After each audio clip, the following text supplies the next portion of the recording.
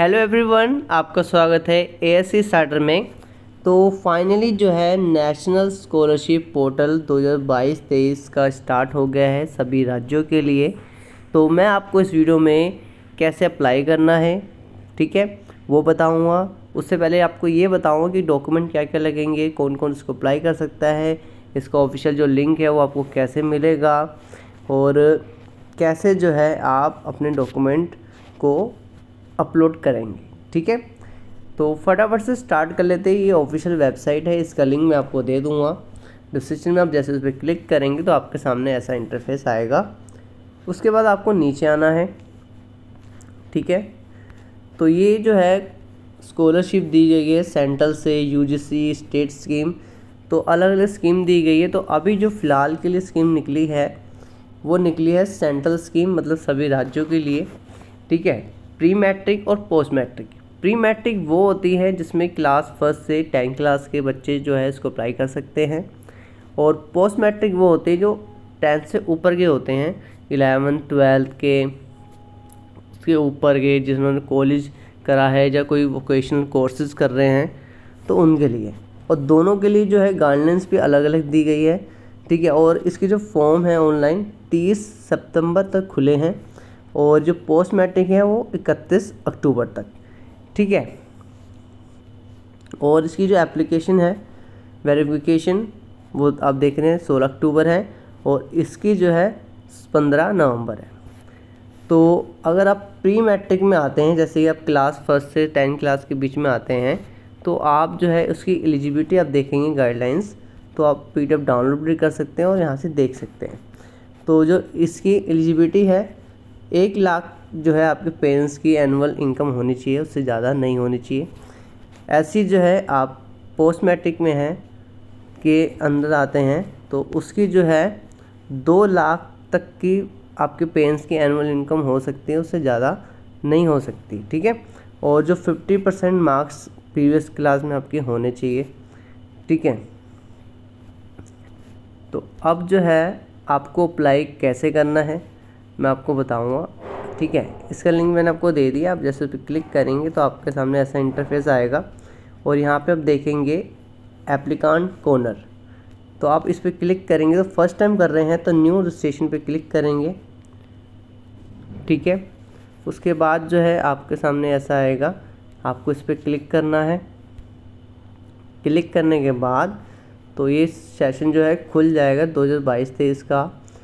तो अभी जो फ़िलहाल के लिए फॉर्म स्टार्ट हुए हैं माइनॉरिटी के लिए, जो सिख होते हैं, जैन होते हैं, मुस्लिम होते हैं, ठीक है, उनके लिए जो माइनॉरिटी कैटेगरी में आते हैं, ठीक है, ऐसी ओबीसी के भी जो है निकलेंगे जनरल के भी निकलेंगे तो उसका भी मैं इन्फॉर्म कर दूँगा आपको। तो मैं आपको बताता हूँ जो डॉक्यूमेंट है, वो आपके क्या लगेंगे? एजुकेशन डॉक्यूमेंट ऑफ़ स्टूडेंट्स मतलब आपकी आपकी जो मार्कशीट है, वो लगेगी प्रीवियस क्लास की। और आप क्लास टेंथ में कर रहे हैं तो आपकी नाइन की जो है लगेगी मार्कशीट। और स्टूडेंट्स का बैंक अकाउंट नंबर और आईएफसी कोड के साथ होना चाहिए। अगर आप प्री मैट्रिक के लिए अप्लाई कर रहे हैं मतलब कि फ़र्स्ट क्लास से टेंथ क्लास के बीच में आते हैं तो आपका अगर बैंक अकाउंट नहीं है तो कोई बात नहीं, आप आप जो है अपने पेरेंट्स का जो है लगा सकते हैं बैंक अकाउंट ठीक है? ठीक है? तो आप टेंशन लेने की बात नहीं अगर आपका अकाउंट नहीं है तो आप अपने पेरेंट्स का भी लगा सकते हैं। और पोस्ट मैट्रिक वाले जो हैं, उनको तो अपना लगाना ही पड़ेगा। और आधार नंबर जो है, आपका स्टूडेंट का होना चाहिए। If Aadhaar is not available तो आपको जो है बोनाफाइड स्टूडेंट सर्टिफिकेट होता है।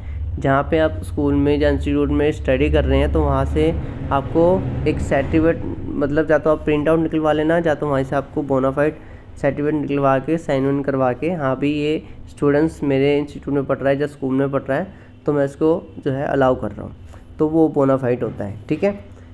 तो अगर आपके पास आधार कार्ड नहीं है तो आपको फिर एक बोनाफाइड सर्टिफिकेट जो है साइन वन करवा के यहाँ पे अपलोड करना पड़ेगा।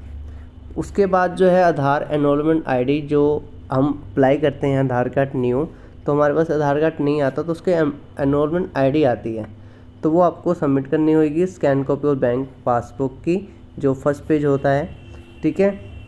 और institute institute school is different from domicile state मतलब कि आप जहाँ रह रहे हैं और आप कहीं और पढ़ रहे हैं तो उसके लिए भी आपको बोनाफाइड स्टूडेंट सर्टिफिकेट लगाना पड़ेगा वेरीफाई करवाना पड़ेगा स्कूल से हाँ ये बच्चे यहाँ पे पढ़ रहा है तो अलाउ कर रहे हैं, ठीक है? तो उसके लिए भी आपको अपलोड करना हुआ। अब जो है डेट ऑफ़ बर्थ के लिए आपको सर्टिफिकेट लगाना पड़ेगा, ठीक है? जो भी आपका एजुकेशन सर्टिफिकेट है उसमें डेट मेंशन होनी चाहिए डेट डी ओ ठीक है मतलब डेट ऑफ़ बर्थ उसके बाद जो है स्टेट ऑफ़ डोमिसाइल आपका जो है डोमिसाइल जो है, जहाँ आप रह रहे हैं तो उसका भी जो है एक प्रूफ लगेगा। ठीक है परमानेंट एड्रेस प्रूफ जो होता है। उसके बाद जो है स्कॉलरशिप कैटेगरी आप कौन सी कैटेगरी में आ रहे प्री मैट्रिक या पोस्ट मैट्रिक तो आप देख लीजिए प्री मैट्रिक वाले जो है फ़र्स्ट क्लास से लेके टेंथ क्लास तक है। और जो पोस्ट मैट्रिक है, वो क्लास इलेवन ट्वेल्थ या कोई वोकेशनल कोर्सेज कर रहे हैं या I T I B S C B com B tech medical students studying level college such I T I T तो ऐसे जो है, वो पोस्ट मैट्रिक के लिए अप्लाई कर रहे हैं। ठीक है? दो ऑप्शन आएँगे प्री मैट्रिक और पोस्ट मैट्रिक तो आप जोन से भी कैटेगरी में आते हो आपको सिलेक्ट करना है। Name of students provide name as a printed education certificate मतलब आप जो भी डिटेल फिल करेंगे वो आपको सर्टिफिकेट में होनी चाहिए। ये नहीं कि आप आधार कार्ड में जैसे कुछ और है तो आपको सही कराना पड़ेगा। जो भी आपके एजुकेशन सर्टिफिकेट पे हैं डिटेल, वो आपको फिल करनी है। ठीक है? उसके बाद जो है, और यहाँ पे बोला भी हुआ है कि आधार कार्ड में अगर नाम चेंजेस है गलत है तो उसको करेक्ट करवा लीजिए फटाफट से। ठीक है? और मोबाइल नंबर होना चाहिए। एकदम वेरीफाई जो इनकम आउटगोइंग आती हो। ईमेल आईडी होनी चाहिए। बैंक अकाउंट डिटेल आप अपने पास रखिए, जिससे कि जो है जब अपलोड करनी हो तो वो उसी टाइम आप कर लें, ठीक है? आइडेंटिफिकेशन डिटेल, आधार नंबर, ठीक है? ट्वेल्व डिजिट जो आधार नंबर होता है, प्रिंटेड, वो मांगा जाएगा, आपको फिल करना होगा, ठीक है? रिकॉर्ड के लिए। तो ये कुछ डिटेल है, ठीक है? तो मैंने आपको बता दी क्या क्या लगेगा। तो उसके बाद आप एक बार वेरीफाई करके, चेक करके ठीक है? उसके बाद जो है आपको तीनों पे टिक मारने हैं। तीनों में टिक मारने के बाद कंटिन्यू पे क्लिक करना है। जो है आपके सामने fresh registration for academic year 2022-23 आ जाएगा। ये आपको कुछ डिटेल फिल करनी है, जैसे कि स्टेट ऑफ़ डोमिसाइल ठीक है? आपको स्टेट सेलेक्ट करनी है, ठीक है? जहाँ के भी आप निवासी हैं, जैसे पंजाब के है, राजस्थान के, जहाँ के भी आपको सिलेक्ट करनी है दिल्ली का तो सिंपल आपको दिल्ली सेलेक्ट करना है। स्कॉलरशिप कैटेगरी ये प्री मैट्रिक या पोस्ट मैट्रिक प्री मैट्रिक में वो है जो फ़र्स्ट क्लास से टेंथ क्लास के बीच में आते हैं। पोस्ट मैट्रिक वो है जो इलेवन ट्वेल्थ या उनके ऊपर के हैं। ठीक है, आप जोन से भी कैटेगरी पे है उसको आपको सिलेक्ट करना है। यहाँ पे आपको नेम डालना है फुल नेम है। आप, अगर आपके सर्टिफिकेट में तो फुल नेम डालना, अगर सिंपल फ़र्स्ट नेम है तो सिंपल फ़र्स्ट नेम डालना, ठीक है? और स्कीम टाइप आपको स्कीम टाइप करनी है। स्कॉलरशिप स्कीम या इंसेटिव स्कीम, ठीक है? तो स्कॉलरशिप स्कीम पे हम क्लिक करेंगे। डेट ऑफ़ बर्थ आपको डालनी है, जेंडर सेलेक्ट करना है, मेल, फीमेल, जो भी है, ठीक है? मोबाइल नंबर आपको डालना है, ईमेल आईडी डालनी है, और उसके बाद बैंक आईएफसी कोड नंबर डालना है। अगर आप प्री मैट्रिक के अंदर आते हैं, अगर आपके पास बैंक डिटेल नहीं है, आपका अकाउंट नहीं है तो आप अपने पेरेंट्स की भी डाल सकते हैं, ठीक है? पहले आईएफसी कोड डालना है यहाँ पे। उसके बाद दोबारा आपको सेम डालना है, ठीक है? कंफर्म करने के लिए बैंक अकाउंट नंबर डालना है, फिर आपको दोबारा से बैंक अकाउंट नंबर डालना है, फिर जो है आइडेंटिफिकेशन डिटेल के बारे में आपको डिटेल डालनी है मतलब कि आप जो है आधार कार्ड आप यहाँ पे सिलेक्ट करेंगे, तीन ऑप्शन आएँगे, आधार एनरोलमेंट आईडी और बैंक अकाउंट अब तीनों में अंतर क्या है, ये जान लीजिए। अगर आपके पास आधार कार्ड है तो आप सिंपल आधार कार्ड पे क्लिक करेंगे। ठीक है, और यहाँ पे आप आधार नंबर डाल देंगे। अब अगर आपके पास आधार कार्ड नहीं है, आपने ऑनलाइन अप्लाई करा हुआ है तो आपके पास एनरोलमेंट आईडी होगी तो आपको सेलेक्ट करनी है। उसके बाद आपको बैंक पासबुक की जो फ़ोटो कॉपी है मतलब कि फ़र्स्ट पेज की, वो आपको अपलोड करनी होगी। जहाँ आप पीडीएफ में करें या जेपीजी फॉर्मेट में करें, ठीक है? ठीक है? फ़ोटो भी आपकी होनी चाहिए, जो फ्रंट पेज होता है। उसके बाद जो है यहाँ पे आप एनरोलमेंट आईडी डालेंगे डेट डालेंगे डेट टाइम और फिर जो आपको मिली होगी वो फ़ोटो कॉपी एनरोलमेंट आईडी की, वो आपको चूज़ करनी होगी अपलोड करनी होगी। ठीक है? फिर जो है इस पर चेक मारना पड़ेगा, फिर रजिस्टर पे क्लिक करना होगा। अगर आपके पास जो है ये भी नहीं है, फिर आप बैंक अकाउंट डालेंगे तो वो आपको फ़र्स्ट जो पेज है वो आपको अपलोड करना ही करना है। साथ में जो है यहाँ पे लिखा है you are requested to get yourself enrolled in Aadhaar मतलब कि अगर आप अपने आधार कार्ड अभी बनवाए नहीं है अप्लाई भी नहीं करा तो यहाँ से आप जो है I will enrol and submit Aadhaar इस पर आप क्लिक करेंगे, ठीक है? फिर I have check the app link मैंने चेक करा है, मेरे आसपास कोई सेंटर है या नहीं, आप चेक करेंगे। तो उसके बाद फिल करने के बाद फिर आप चेक बॉक्स पे क्लिक करेंगे। अगर आपके पास आधार कार्ड है तो टेंशन फ्री आधार सेलेक्ट करिए, यहाँ पे आधार नंबर डालिए और ये कैप्चा यहाँ पे डालिए, ठीक है?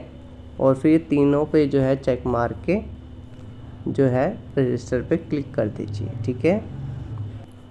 अब जो है उसके बाद आपके पास स्टूडेंट एप्लीकेशन आईडी आएगी, वो आप फटाफट से नोट कर लीजिए या स्क्रीनशॉट ले लीजिए, ठीक है? बाकी फ्यूचर में आपके काम आएगी। तो उसके बाद आपको कंटिन्यू पे क्लिक करना है। आपके फ़ोन पे एप्लीकेशन आईडी और पासवर्ड आया होगा और ये कैप्चा आपको यहाँ पे फिल करना है। उसके बाद जो है आपको लॉगिन पे क्लिक करना है, ठीक है? उसके बाद आपके फ़ोन पे एक ओटीपी आएगा, वो आपको यहाँ पे डालना है, ठीक है? कुछ इस टाइप का होगा। फिर आपको कंफर्म ओ टी पी पे क्लिक करना है। उसके बाद जो है आपको न्यू पासवर्ड क्रिएट करना है। तो आप जो है, जैसे आपका नाम राहुल है तो Rahul at the rate one two three लिख सकते हैं। सिंपल सा भी कर सकते हैं, बस आपको याद होना चाहिए, ठीक है? पासवर्ड आप एक बार यहाँ डालेंगे, दोबारा सेम यहाँ पे डालेंगे, फिर सबमिट पे क्लिक करेंगे। उसके बाद आपका नाम यहाँ पे आ जाएगा एप्लीकेशन आईडी आ जाएगी, ये जो है ऑप्शन आ जाएँगे और उसके बाद आपको फॉर्म जो है सबमिट करना है। ठीक है? मतलब कि आपको एप्लीकेशन फॉर्म पे क्लिक करना है इस पर ठीक है? यहाँ पे जो हमने पहले डिटेल फिल करी थी, वो आ जाएँगी, ठीक है? तो अब आपको कुछ जो है डिटेल फिल करनी है, जो रह गई हैं। जैसे कि धर्म। धर्म आपका कौन सा है? ठीक है, हिंदू है, मुस्लिम है, क्रिश्चियन है, सिंह, ईसाई, ठीक है? जोन से भी आप कैटेगरी में आते हैं, आपको सिलेक्ट करना है। उसके बाद उसके बाद जो है कम्युनिटी कैटेगरी पे सिलेक्ट करना है। यहाँ पे आपको फादर नेम डालना है। वही डालना जो आपके डॉक्यूमेंट में है, ठीक है? और ऐसे आपको मदर नेम डालना है और एनुअल इनकम आपकी कितनी है? अगर आप प्री मैट्रिक के हिसाब से फिल करें तो एक लाख से ज़्यादा नहीं होनी चाहिए और अगर आप पोस्ट मैट्रिक हैं तो दो लाख से ज़्यादा नहीं होने चाहिए। तो आप अपने हिसाब से जौन से भी कैटेगरी आपने सेलेक्ट करी है तो उसके हिसाब से ही एनुअल इनकम डालना, ठीक है?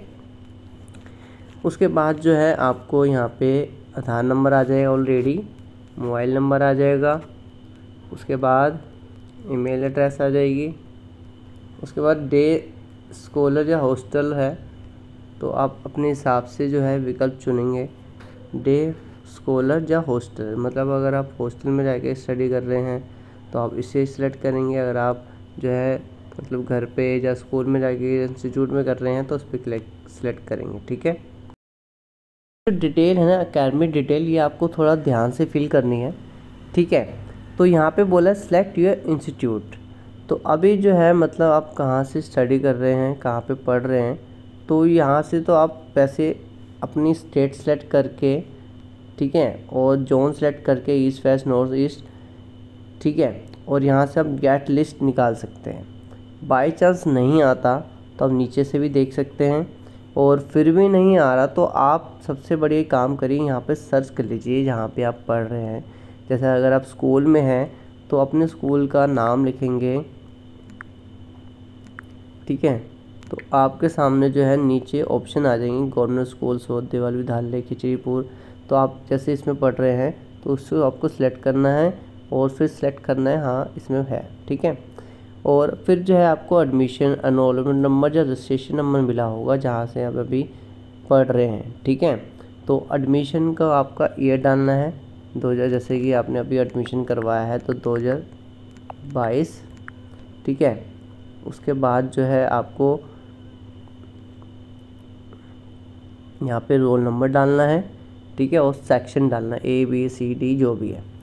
और अब जो है, अब आपको डालना है प्रेजेंट क्लास आप अभी कौन सी क्लास में हैं? तो ये आपके सामने क्लासेस आ जाएँगी। मैंने प्री मैट्रिक सेलेक्ट करा था, इसलिए टेंथ तक आ रहा है। अगर आप पोस्ट मैट्रिक सेलेक्ट करा होगा तो आपने ट्वेल्थ के बाद जो जो ऑप्शन आ रहे हैं वो आप सेलेक्ट कर लेंगे, ठीक है? तो जैसे कि मैं क्लास टेंथ में हूँ तो मैंने क्लास क्लास टेंथ जो है, सेलेक्ट कर लिया है, ठीक है? प्रेजेंट क्लास स्टार्ट डेट, मेरी जो है, क्लास कब से स्टार्ट हुई है, वो मैं डेट डाल दूँगा, जैसे कि एक मिनट।